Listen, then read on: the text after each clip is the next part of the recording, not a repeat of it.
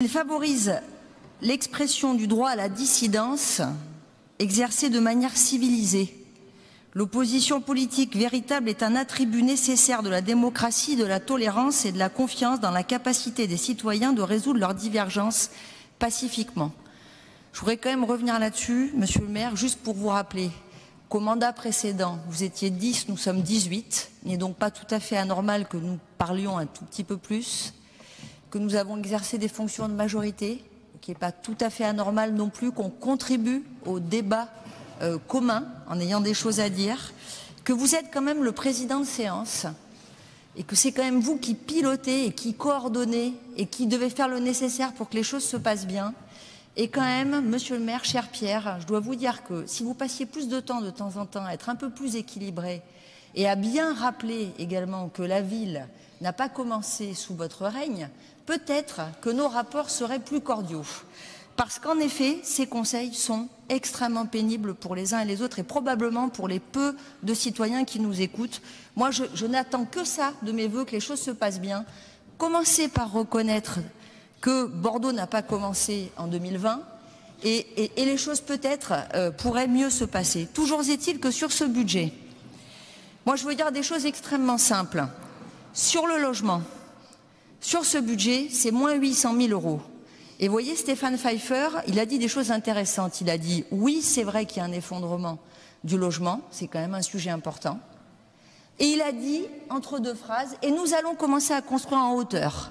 Il me semble que c'est quand même un sujet assez fondamental qu'on aurait pu apprendre autrement qu'au travers d'une réplique. Dernière chose euh, sur euh, le logement, euh, malgré ce qu'il dit, vous continuez à annoncer que vous aurez 25% de logements sociaux en 2026. C'est impossible. Deuxième chose sur les seniors, on me rétorque que les clubs seniors étaient dans des conditions catastrophiques légèrement caricatural comme positionnement, mais soit, regardons le budget. Moins 300 000 prévus sur ce budget pour les activités seniors. Euh, moins 70 000 pour le pôle senior. Moins 160 000 pour les résidences seniors.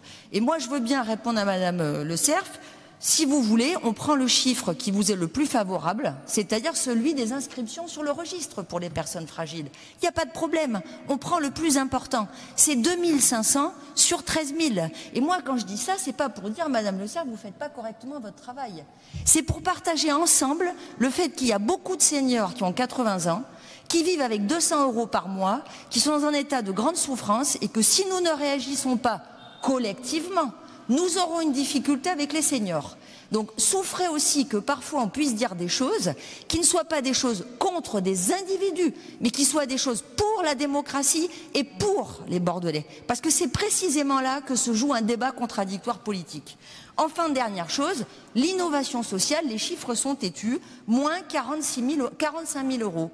Et je conclurai là-dessus, quand Madame Le Gabriel, Madame Fanny Le Boulanger, pardon, m'indique que sur le centre social euh, du Grand Parc, on est passé de 400 000 à 650 000, c'est une erreur fondamentale, parce qu'elle parle des places de garderie pour les enfants, et moi, je lui parle de ce qu'est un centre social, agrément de la CAF, qui vise à faire de la prévention. Et c'est précisément deux sujets qui sont absolument différents, mais nous y reviendrons tout à l'heure.